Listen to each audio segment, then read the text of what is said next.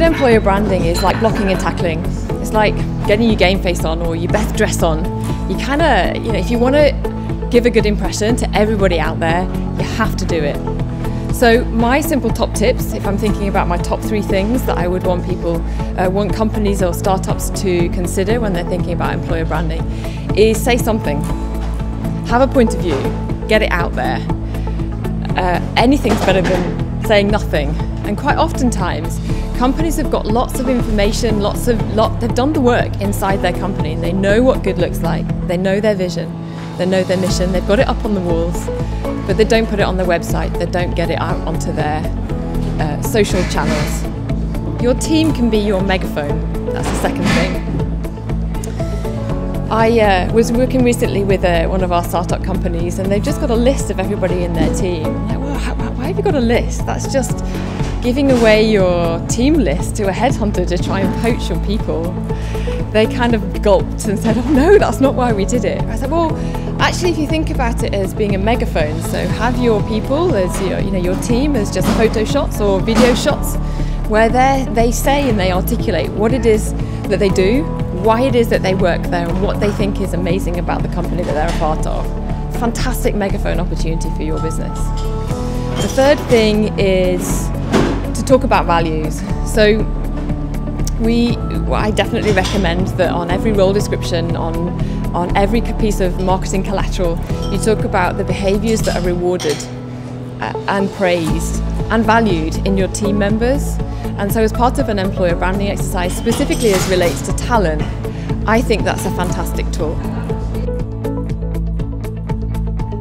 Pipelining is a really interesting question, and I definitely believe in it. I think there are a number of different channels that you need to deploy when you're looking to hire a team, and it kind of depends who you're looking for and how many, at what time, in what, in what geography, and on what level. So the, in answer to your question about whether you need to have a, a, a, pipeline of talent there and waiting, if you can and you've got the luxury of knowing what it is that you want to hire and being able to articulate that and go out to find those people who might be game ready ahead of time, then I think that's an awesome thing to do. The reality is, however, that you often don't have it. So lots of startups don't have a, a way to pipeline talent. There's some fantastic technology tools out there. Social media search do a really good one. Candidate ID is another great one.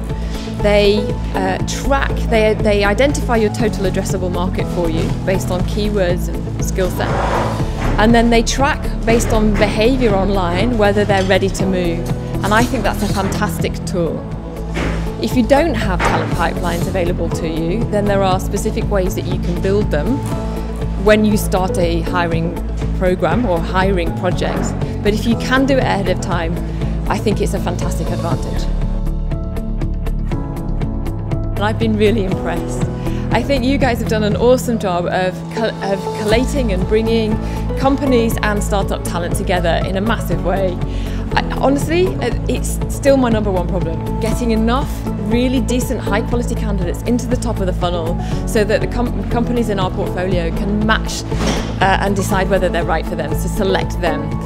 It's, uh, it's amazing to see all these people out here uh, looking for roles in startup and companies that are hoping to hire them. So it, in a way, it brings what Jobbio does on the website, or, or, you know, 24/7 to life in a real 3D version, and I think it's brilliant.